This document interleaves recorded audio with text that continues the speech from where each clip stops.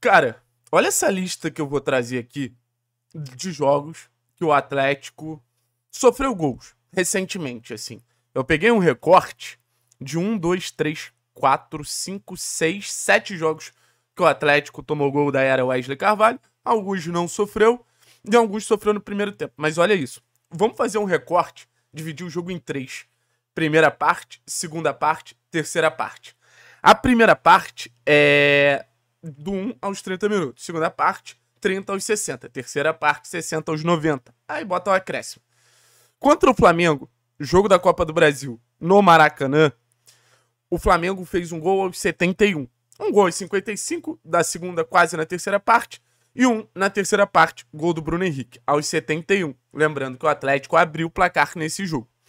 Contra o Fortaleza, a gente toma gol aos 84. Perdemos ponto aí no Campeonato Brasileiro. Vamos aí, menos um ponto. Contra o Flamengo, novamente, no na Copa do Brasil, o Gabigol fez aos 93, tá? Nos dois jogos contra o Flamengo.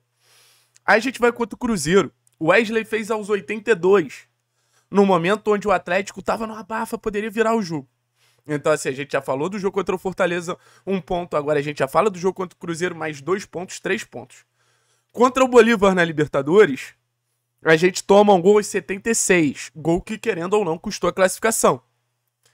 Contra o Santos, a gente toma o gol aos 90 mais 6. Então já eram 3 pontos.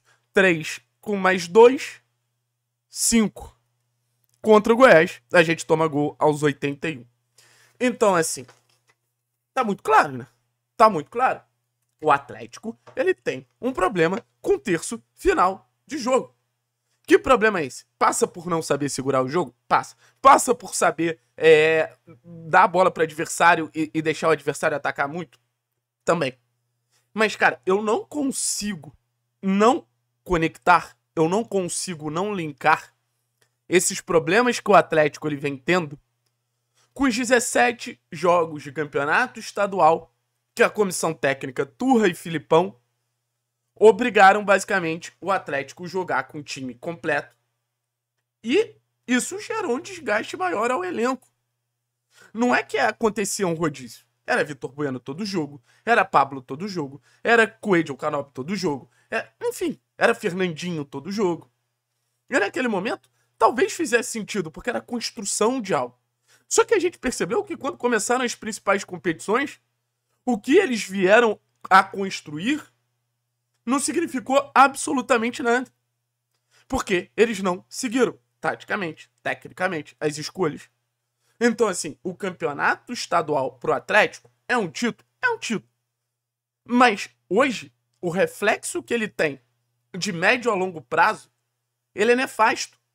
O campeonato estadual faz o Atlético ser um time sensível fisicamente. A gente citou aqui 7, 8 jogos. E assim, você vai pensar, ah, mas não tem nada a ver com a parte física, tem a ver que a gente dá muito a bola para o adversário. Isso também tem muito a ver com a parte física. Quando o Atlético ele começa a ficar mais impotente fisicamente, começa a ficar menos competitivo fisicamente, o que que isso acaba gerando? Isso acaba gerando uma falta de capacidade de ganhar disputas, de prender bola, de tocar. Porque o jogo com bola ele exige pra cacete também. O jogo com bola, ele, ele exige esforço, ele exige muita coisa. Então, é um sentimento, é um sentimento que a gente fica assim, porra, se a gente tivesse um pouquinho mais de fôlego, a gente poderia estar melhor em todas as competições.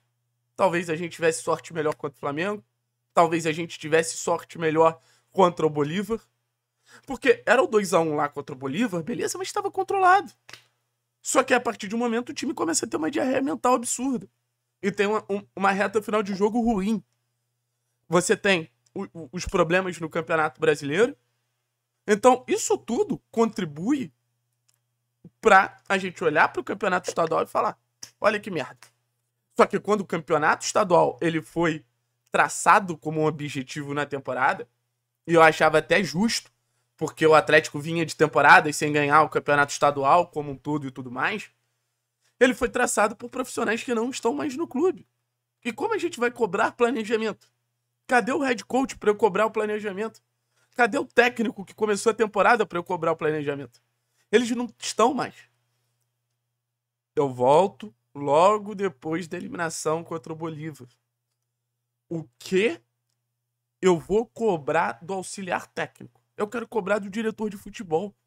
Só que essa figura não existe. O próprio Alexandre Matos, ele sabe que ele é diretor de negócios, ele é diretor disso, ele é diretor daquilo. Sabe? Então, assim, é um sentimento que, pô, é, é muito merda. Porque existe um problema. Esse problema, querendo ou não, é, é de avaliação do planejamento que o CAP tem. E agora o CAP ele morre com 60, 70 minutos. Ah, mas o Atlético ele só tem é, o Campeonato Brasileiro para jogar.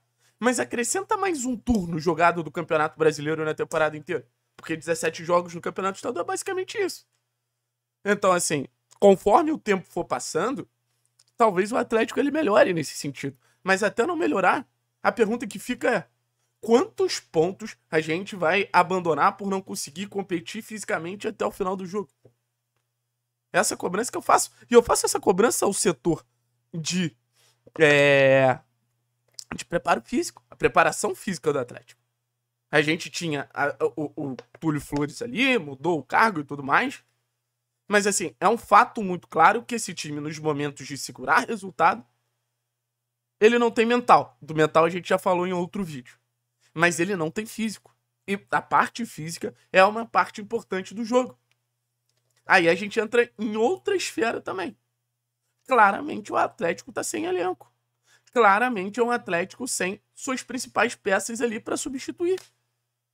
Contra o Goiás, a gente já falou. O Vidal sentiu fisicamente e foi um Vidal que não tinha substituto. Entrou o Zapelli, que não marca ninguém.